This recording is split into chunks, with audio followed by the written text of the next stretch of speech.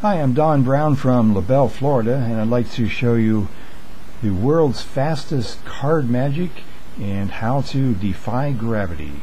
Here we have four nines and a king, and I'd like to change this into a little better poker hand if I could, but watch carefully and don't blink. Straight flush. Now I'd like to show you how to defy gravity. Just take a regular paper clip, put it into your palm of your hand. And just watch it closely.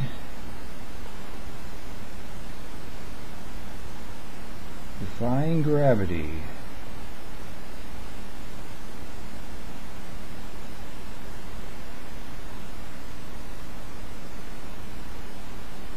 I'm Don Browne from LaBelle, Florida